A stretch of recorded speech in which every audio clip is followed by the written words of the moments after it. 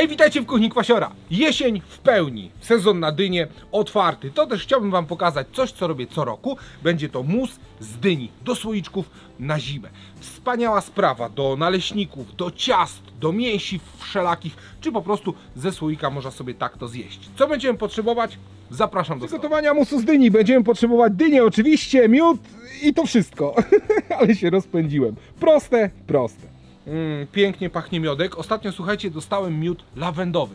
Przepięknie tą lawendą przybija. Czuć lawendę, sprawdźcie sobie miód lawendowy. Ten jest wielokwiatowy, ale też jest w porządku. Cukier zastąpcie miodem. Raz dla zdrowotności, a dwa dla smaku. Miód świetnie współgra z dynią. I teraz tak, dynię należy obrać. Ale nie ze skóry, tylko z tych gniazd nasiennych. Skórę zostawiamy.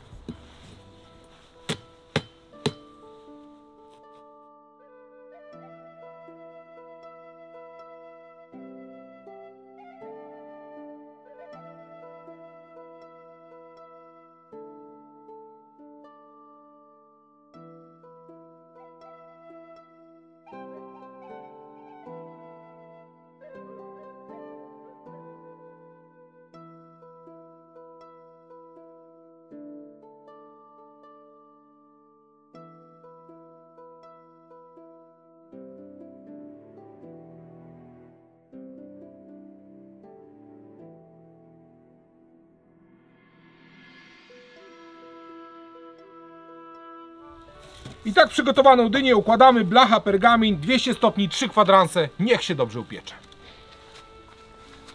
Chwilka za nami, dynia jest już upieczona i ostudzona. Teraz możemy obrać ją ze skóry.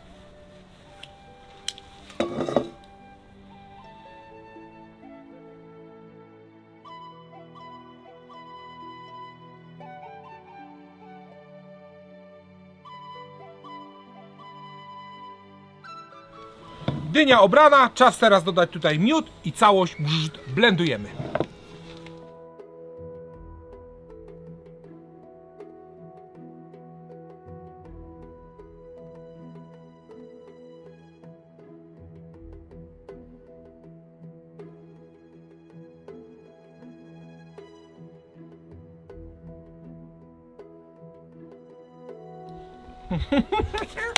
tak jest!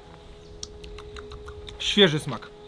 Czuć dynię delikatnie w te. Słodycz i kwaśność, bo dodałem tutaj sok z cytryny. Przepraszam, że wcześniej Wam o niej nie powiedziałem, ale słodycz lubi kwaśność, taka balans, taki balans smaku. I ten sok z cytryny również ta kwaśność pozwoli e, utrwalić kolor dyni, ten piękny pomarańczowy. No kolejny dowód na to, słuchajcie, że proste rozwiązania zawsze są w życiu najlepsze. I teraz tak, słoiki. Ważne, żeby były czyste, nie muszą być wyparzone, bo i tak przecież całość będziemy pasteryzować. Ale dobre. Lejek słoikowy bardzo ułatwia pracę i uzupełniamy słoiki tak mniej więcej do 4 piątych wysokości słoja, aby u góry zostawić nieco pustej przestrzeni. Dzięki temu słoik będzie miał szansę się zamknąć.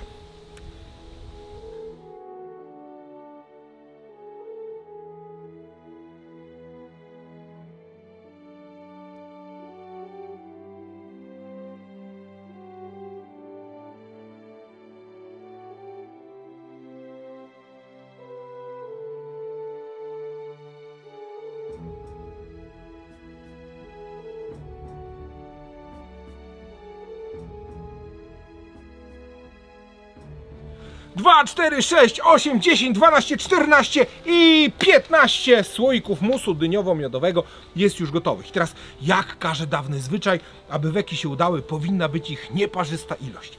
I teraz tak, ranty słojów dokładnie wycieramy, aby nakrętka mogła szczelnie przylegać. Teraz, jeśli ją dokręcamy i ona klik, klik, klik przeskakuje, nie nadaje się, należy ją wyrzucić i zastąpić nową, tak aby szczelnie ona przylegała.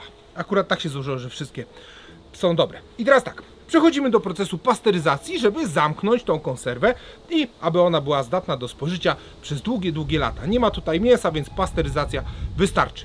Garnek, na dole ściereczka, aby słoiki nie strzeliły. Układamy w garnku słoiki tak, żeby nie obijały się o siebie, bo też mogą się pobić. Zalewamy wodą do mniej więcej zawartości słoika, doprowadzamy do wrzenia i gotujemy całość. Dobrze też pokrywkę dać, wtedy woda tak nie będzie odparowała. Gotujemy kwadrans, może 20 minut, wyciągamy słoiki, układamy do wystygnięcia i finito, gotowe. Także cóż, ja już nie będę szlajał się po nocy, więc widzimy się jutro. Witam się z Wami kolejnego dnia. Mus z dyni jest już zapasteryzowany, o czym świadczą wklęsłe nakrętki. Otwórzmy go teraz i powąchajmy. O, dynią pięknie pachnie, miodem, te kwiatowe aromaty. Bardzo zachęcający zapach.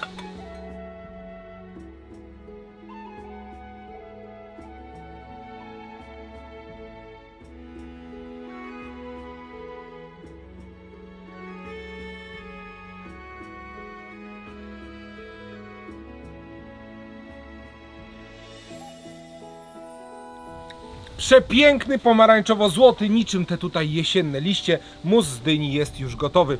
Mm, Jest on gęsty, jest niezwykle pyszny. Czuć dynię, czuć miód, cytrynka przełamuje całość. Polecam jak najbardziej. Naleśniki, racuchy, ciasta, miesiwa wszelakie, pieczyste, ptactwo na przykład. Wszystko przecudownie odnajdzie się, jak ja to nazywam, z tym dżemem jesiennym, który jak najbardziej polecam sobie spróbować. Do zobaczenia!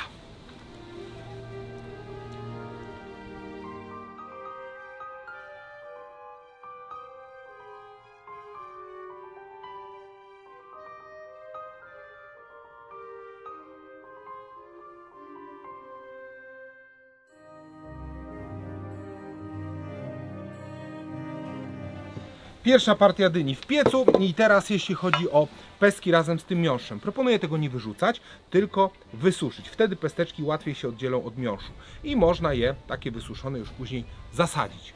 Wyrosną nowe dynie, wcale nie trzeba mieć ogrodu. Kumpel z Warszawy jakiś czas temu wysłał mi zdjęcie, jak na balkonie właśnie w dużej donicy dynie posadził, one mu się powinęły pięknie i miał okrągłe dynie.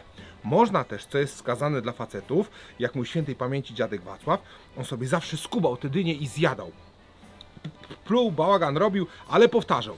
Michałku, dynia, pestki, najurność dobre dla facetów. Także jak najbardziej takie coś polecam wykorzystać.